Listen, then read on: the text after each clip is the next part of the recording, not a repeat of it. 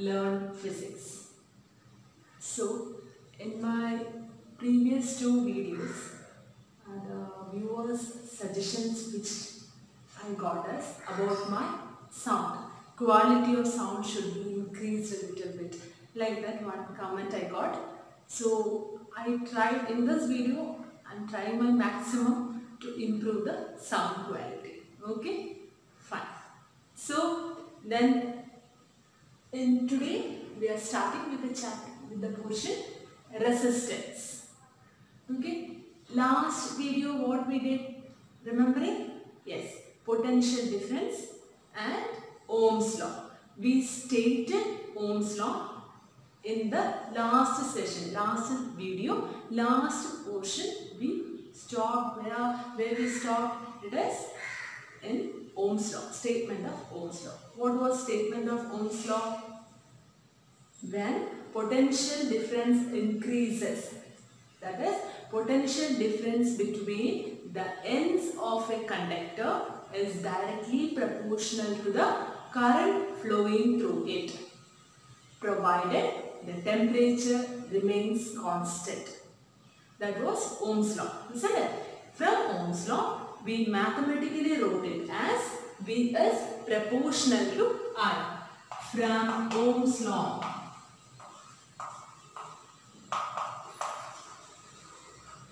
V is proportional to I. So V equals I into R. This is R is proportionality constant in this expression. Isn't it? This is the mathematical representation for Ohm's law. That is V is proportional to I.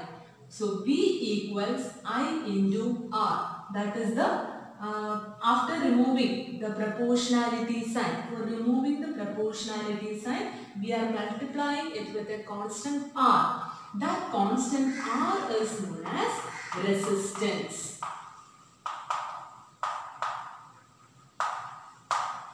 Okay, this constant R is known as resistance. Unit of resistance is Ohm. Representation is like this. Okay, so if I am representing one equation for R, R equals V by I. So from this equation, what we are getting as for a constant potential. If a constant potential difference is applying between the ends of a conductor, if we are increasing current, what will happen? Resistance will decrease. Okay, so or we can say resistance is will be as resistance increases, current will decrease. So in last class also we learned that in the same way. So how we can define this resistance? Next is how we can define resistance. So which is obstructing the flow of charges or electric current. That hindrance is known as resistance. Resistance is the hindrance of electric. It is the property in which which is giving a hindrance for the electric current. It is a property of the conductor to resist the flow of current. Okay, it is the property of conductor to resist the current that is called a resistance. This is how we can define resistance. It is the property of a conductor to resist the current. That means if we don't want that much of current, then we can apply resistance. If we are applying more resistance, our current output of current will be less. If resistance is more, current flowing through the conductor will be less. If resistance is less, current flowing through the conductor will be more. Now you understood what is the use of resistance. So resistance will be uh, that's uh, uh, stopping the flow of current. Okay, it is so it is stopping means whether it is bad? No, it's not like that if it is always bad. Okay, so it is the property of a conductor to resist the flow of current. Resist the current that is called as resistance. So resistance means if resistance increases, current also, current will decrease. If resistance decreases, current will increase. So here in this V is proportional. So understood all of you? How we will define resistance and what is the unit of resistance? That many things clear for you? Okay, so this resistance, when resistance is increasing, nowadays we know, in uh, heating will be very less and if I'm uh, in electrical appliances, isn't it? So very uh, little bit higher end uh, models if we are buying electrical appliances, then the heat energy will be less in those instruments, isn't it? See, I am taking an incandescent bulb, normal bulb. No? So that bulb if I am taking and uh, it is glowing for 10 minutes and uh, uh, same voltage that uh, another bulb, LED bulb is glowing for 10 minutes in another uh, light. So what, the, what will be the heating difference in both the bulbs? Uh, difference will be the heating effect will be more in incandescent bulb and less in the LED bulbs. And regulator also. Olden times regulator you know or not I don't know. See in when my, in my childhood and all and like box type uh, regulators were there. Fan regulators. So that you know if we are working uh, fan for one hour or one, uh, half an hour this that will get heated. But this today nowadays when small resistant uh, regulators will be there, isn't it? So that regulators won't heat up that much. Isn't it? Why? Because the amount of resistance will be less there. If resistance is less, the uh, resistance is less means more current can. All the current which is flowing through the circuit can reach to the other end. Isn't it? So the heating effect will be less over there. So current is, the resistance is restricting the current to flow through the conductor. Okay, uh, if the current is flowing through the conductor and resistance is more, what will happen? Resistance is restricting the current flowing through the conductor. If it is restricting, what will happen? See, uh, that, that energy, electrical energy will be converting it as heat heat energy will be, uh, that's, uh, that, is, that is why our bulbs and all will be heated up very fast.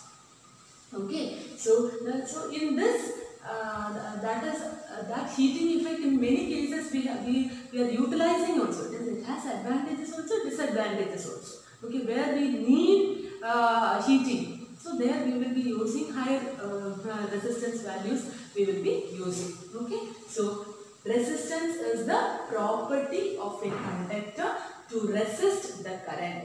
The resistance will be resisting the current or uh, stopping the current. It, can't completely stop. Sometimes if resistance is very much high, then current will also will be high. Okay, if resistance is very low, current also will be, uh, current will be more. Okay, so understood now? So Ohm's law is from Ohm's law we wrote it as V is proportional to I. That is V equals I into R where R is the resistance. Unit of resistance is Ohm. Then it is representation as like this. Okay, R is equal to V by I. So R will be increase. If R increases, what will happen to current? Current will decrease. If R decreases, current will be increasing. So it is the property of a conductor to resist the flow of current. Clear now? What is meant by resistance? So in last video I forgot to tell you about the uh, graphical representation of Ohm's law. Okay. So next is how we can graphically represent Ohm's law.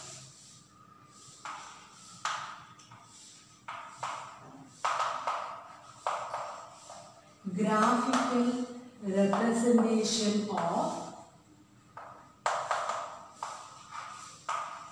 Ohm's law. Ohm's law how we can represent graphically. Okay, so x-axis, y-axis, I and V. VI graph. It is the VI graph. So V is proportional to I. That means as I increases, V also V increases, I also will increase. Isn't it? V decreases, I also will decrease. So it will be a straight line graph like this. Okay, clear now? So the graph will be a straight line with a slope. Okay, so this is the graphical representation of Ohm's law. It will be a straight line with a slope. Okay, understood this? The what is when by the graphical, what is the graphical representation of Ohm's law clear for you? V is proportional to I. That is the mathematical expression for Ohm's law. So that one graphically we can represent it as it will be a straight line inclined to the I-axis or V-axis. Okay. Now, what is the use of this graphical representation?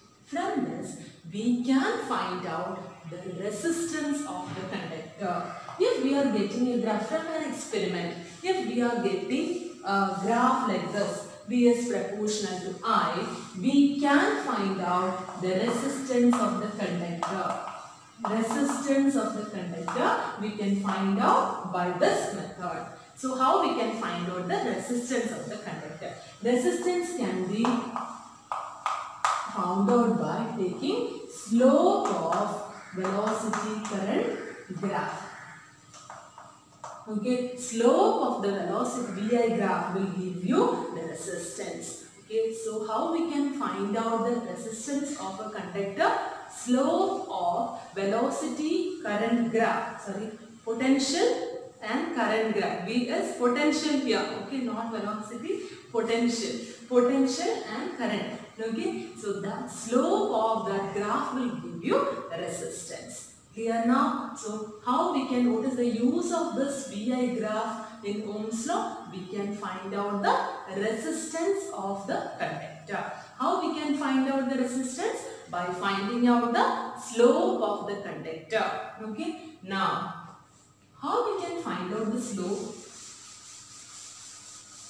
For finding out the slope, what is the, that is a mathematical expression. Maybe you would have studied in small classes also in mathematics. So B and I. This is the graph. So here in any two points you can consider a triangle. A, B, C. Okay? See, then C part I am marking it here. That is V2. Okay? This A part also, these are the A and C are the graph parts. Okay, so this is in graph second point it is and A is the first point. So I am marking it as V1. Okay, so in the in the triangle ABC, which and all points are touching the graph A and C. So where where is what is the A coordinate? Coordinate A how we can represent it will be V1 and this will be I1. Coordinate C how I can represent this is V2 and this is I2. Okay, then slope will be equal to V2 minus V1 divided by I2 minus I1. That is the resistance of the conductor. Clear now? So what is resistance of the, how we can find out resistance of the conductor? Resistance of the conductor we can find out from this slope of VI graph. Slope of VI graph will give you resistance. How we can find out resistance? Slope of VI graph will give you resistance. That is V2 minus V1 divided by I2 minus I1. If you are calculating this, you will get resistance. Clear now this graphical method? Okay, fine. So that's all for today. Uh, so usually my videos will be uh, around 20-25 minutes. It will be. So uh, viewers, this is viewers opinion. Yes, considering viewers opinion and um, cut, cutting short my that length of the video as 10 to 15 minutes because children, not small children, in 10 standard students, for me they are small only. So uh, they don't want to sit for long time with the mobile or those things and they are considering that uh, that's the every day you are seeing, right? So it's okay. If this much, if you are thorough means I'm happy. Okay, fine. So if you like the video, please subscribe and share. And your doubts I'm expecting in the comment box. Thank you.